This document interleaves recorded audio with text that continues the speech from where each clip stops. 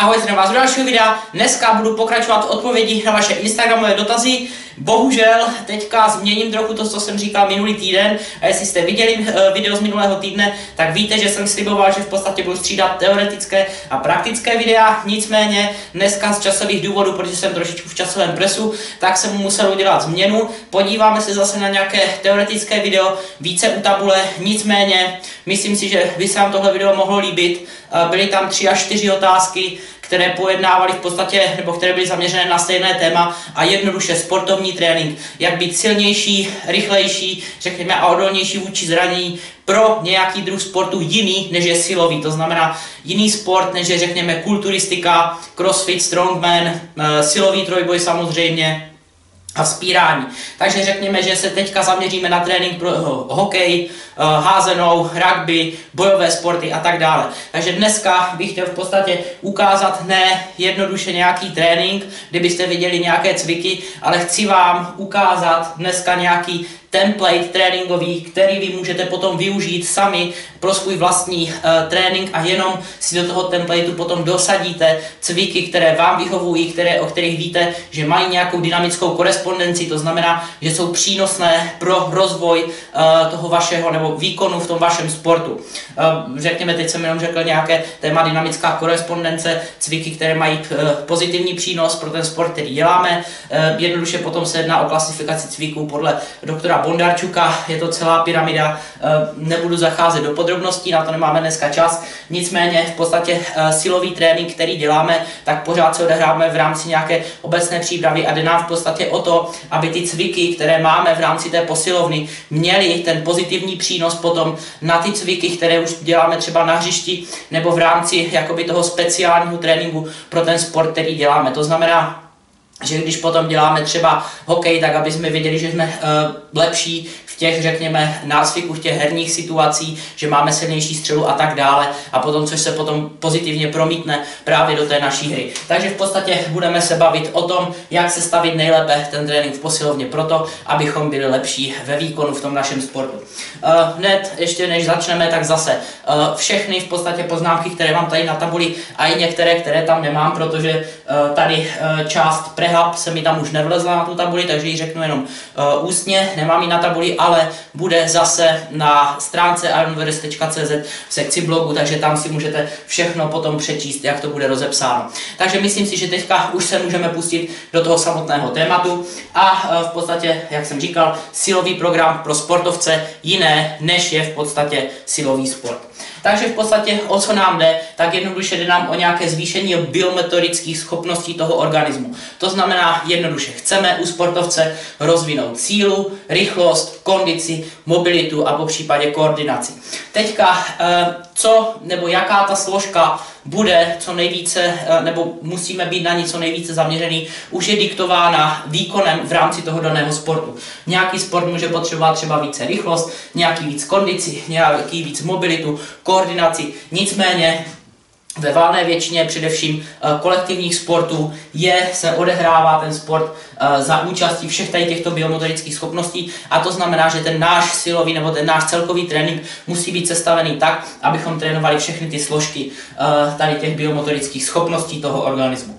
Jo, samozřejmě, že kondice potom už může být specifická buď na hřišti, nebo může být dělána jinak s nějakým, může být dělána jinak s trenérem třeba toho daného sportu, nemusíte být přímo ze silově kondičním trenérem, proto se dneska budeme eh, soustředit především na to, jak rozvinout sílu, jak rozvinout rychlost, nebo sílu, rychlost a po případě kam potom zařadit ještě mobilitu a třeba rozvoj koordinace.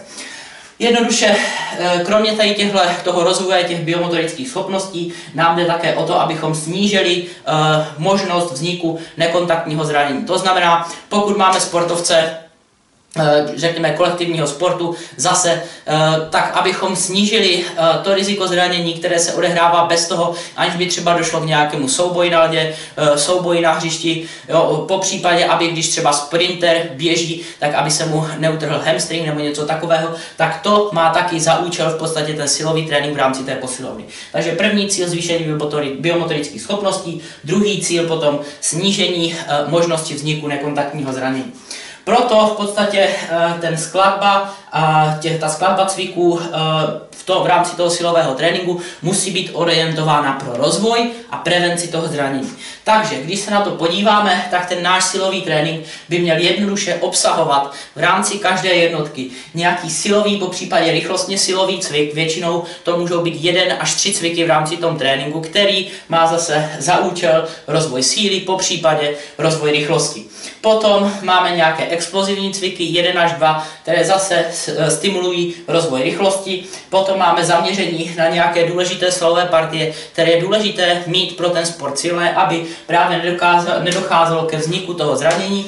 A potom samozřejmě se ještě v rámci toho prehab zaměříme více tady na té partie a můžeme to také pojmout jako nějakou formu kondičního tréninku. To znamená, že zvýšíme i tu kondici, zvýšíme mobilitu, koordinaci. Tohle je všechno potom řešeno v rámci toho prehab tréninku. Takže silové, rychlostně silové cviky většinou 1 až 3 v rámci toho tréninku, explozivní cviky 1 až 2 v rámci toho tréninku, důležité, svalové partie 4 až 6 cviků, uh, prehab cviky 2 až 4 a tyhle prehab cviky už můžou být potom udělány kdykoliv během dne v rámci třeba nějaké druhé tréninkové jednotky. Většinou jsou to tréninky trvající od 10 do 30 minut, ne víc, a ty cviky už nejsou těžké, takže nepotřebují nějaké extra rozcvičení, v podstatě je to něco podobného jak rozcvička.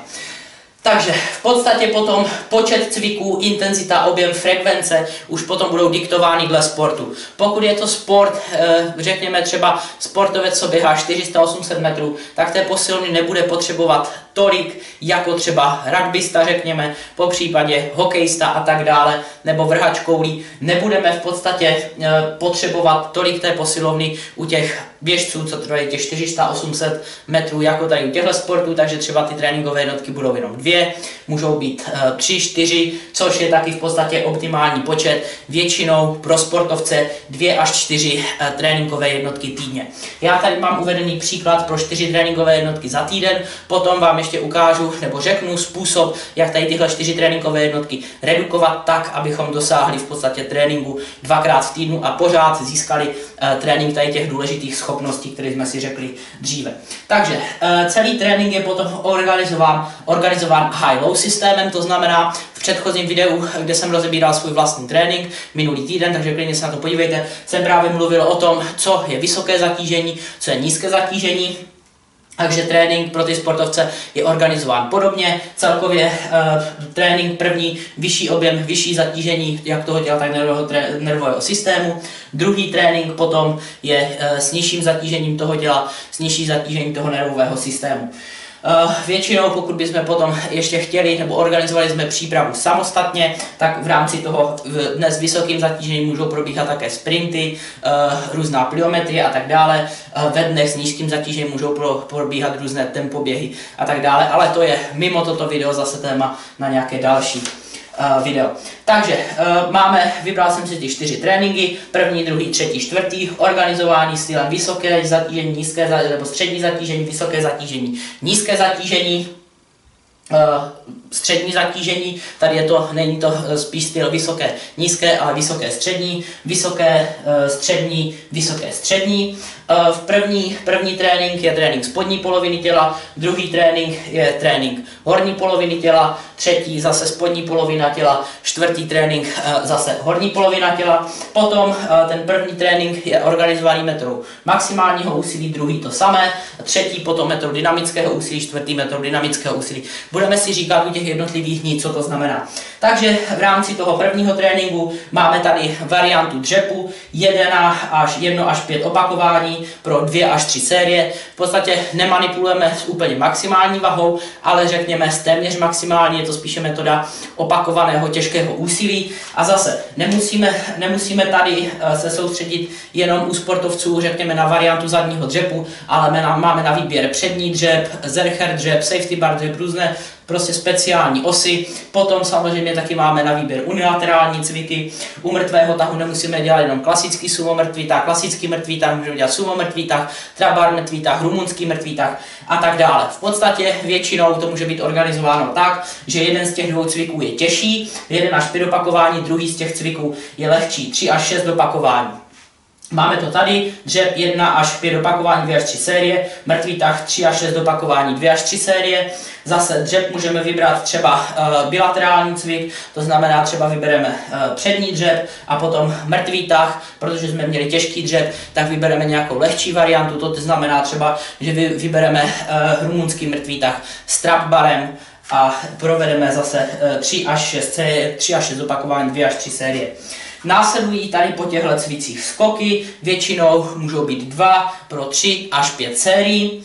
Po těchto skocích uh, následují ty, jak jsme říkali, doplňkové cviky zaměřené na důležité svalové partie, jíždě, hamstringy, unilaterální nebo bilaterální varianta dřepu. Pokud máme v prvním cviku bilaterální variantu, tak tady jdeme s unilaterální variantou. Pokud máme uh, v, pr, uh, v první variantě unilaterální, tak tady dáme bilaterální. Můžeme si hrát s různým tempem provedení opakování, s různýma pauzama a tak dále. Uh, trénujeme lítka potom, břicho, většinou dvě až tři série. Samozřejmě, že všechny tady ty partie a nemusí být obsaženy v rámci toho tréninku. Pokud máme třeba na silový trénink jenom 30 až 45 minut, můžeme absolvovat třeba pouze jeden cvik, jeden skok, dva doplňkové cviky. To vše. To už je potom všechno závislé na tom, kolik máte času na ten trénink a nedá se to jednoznačně určit, pokud já nespolupracuji s konkrétním sportovcem, u kterého vím ten přesný jeho tréninkový program a tréninkový režim. Tak, teďka se posouváme do druhého tréninkového dne. Máme tady vlastně střední zatížení, uh, maximální úsilí horní poloviny těla. Máme tady tlak, 1 až 5 opakování, zase 2 až 3 série, jakákoliv varianta tlaku. Může to být landmine tlak, může to být bench press, může to být tlak nad hlavu, cokoliv, co ten sportovec může eh, bezpečně a pořádně provádět, tak aby získal nějaký tréninkový efekt.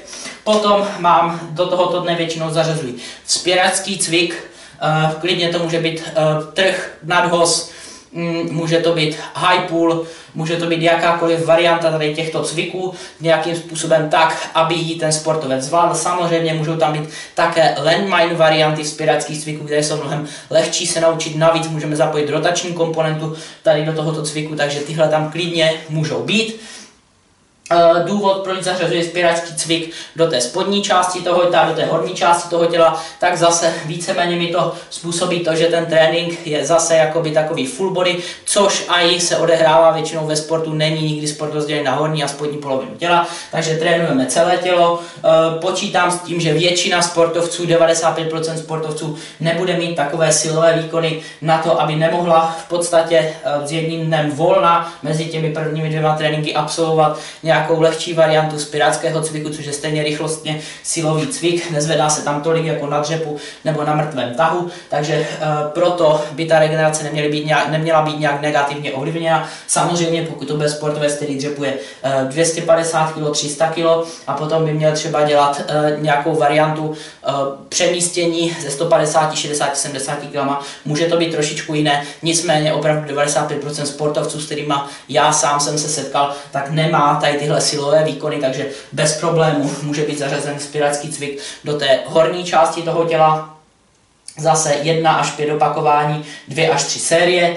Potom absolvujeme cvik s medicimbaly, rotační odhody, jakékoliv další odhody, podle toho zase, jaká je nátura toho sportu. Pokud máme hokejistu, hodně rotačních pohybů, medicimbaly, velice dobré pro zlepšení střely.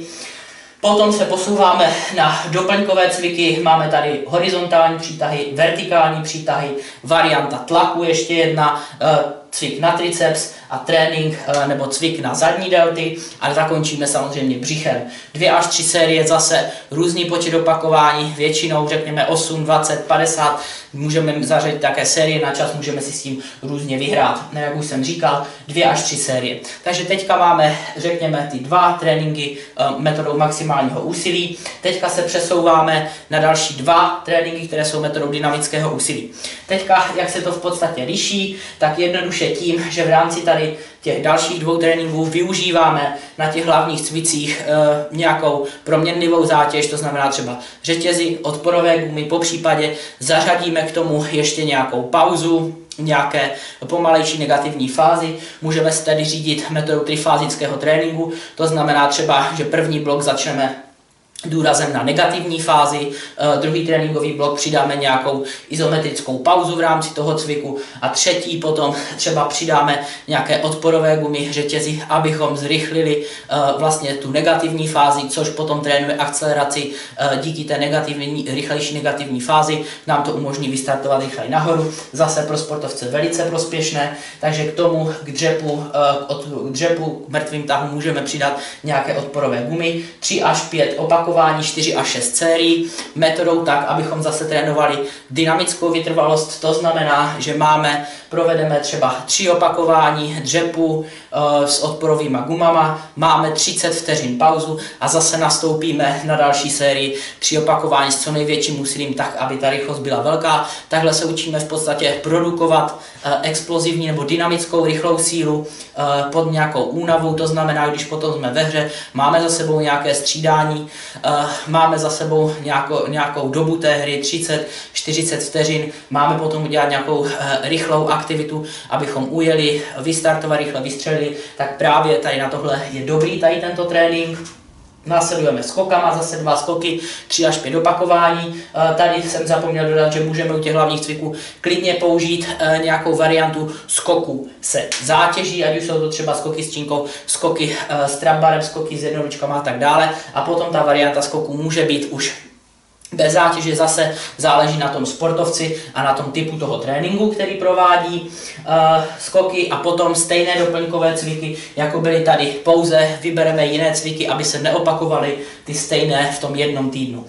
Potom uh, trénink dynamického úsilí horní části těla, tak máme zase ten stejný postup utlaku 3 až 5 sérií, uh, 3 až 5 opakování, 4 až 6 sérií. A potom spirácký cvik, tady máme na výběr většinou, jak už jsem zmínil, landmine varianty spiráckých cviků, tak většinou v rámci toho prvního dne využívám klasické varianty, samozřejmě které sport zvládne, pokud nevyužíváme landmine a uh, trošičku jiné.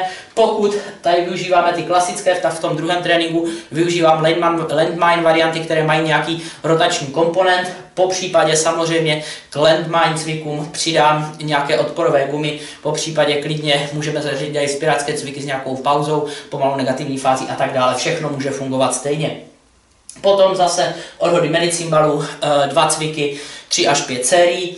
Držíme se vždycky u těch explozivních cviků většinou mezi 3 až 5 opakováními, stejně jak je toho u metody maximálního úsilí, u metody dynamického úsilí. Zase doplňkové cviky jsou stejné, stejné jak v té eh, v tom minulém tréninku té horní části těla a zase eh, vyměníme tak, aby se neopakovaly stejné varianty. Ještě jedna zmínka u těch metod maximálního úsilí. Provedení toho opakování je klasické, tak, aby jsme rozvíjeli maximální sílu. Málo kdy tady třeba zařazujeme nějaké pauzy, tempa a tak dále. To si šetříme potom pro ten druhý dynamický den. Takže tohle bylo vysvětlení toho tréninkového templateu, jak byste si sami v podstatě mohli do toho dosadit nějaké cviky. A teďka ještě, jak už jsem říkal, vrátím se k těm prehab cvikům. Většinou jsou dvě až čtyři. Teďka, když trénujeme spodní část těla, tak si můžeme vybrat prehab cviky z kategorie horní části těla. Můžeme tam zařadit, uh, řekněme, uh, cvik na horní část zad, cvik na zadní delty, cvik na triceps, cvik na střed těla a doplníme to nějakým tréninkem mobility. 10 až 30 minut, jak jsem říkal, mimo tu tréninkovou jednotku nebo hned po ní, jakožto nějaký regeneračnější trénink. Druhý potom trénink toho prehab, Eh, když máme trénink spodní části těla, horní části těla, zařadíme eh, nějaké cviky na spodní část těla, zase důležité svalové partie, hamstringy, eh, jíždě, krk a většinou pro sportovce těch uh, kontaktních kolektivních sportů je důležité trénovat krk a samozřejmě také pro fightery, takže trénujeme krk a poslední cvik jsou tam potom uh, zaměřený, řekněme, na oblast spodních zad. Takže takhle potom většinou vybereme vždycky ty čtyři cviky, absolvujeme v rámci nějakého kruhového tréninku, zakončíme nebo předcházíme mobilitou a takhle můžeme v podstatě sestavit celý ten náš trénink v té posilovně uh, pro ty sportovce, kteří se neba, nezabývají vyloženě silovým tréninkem.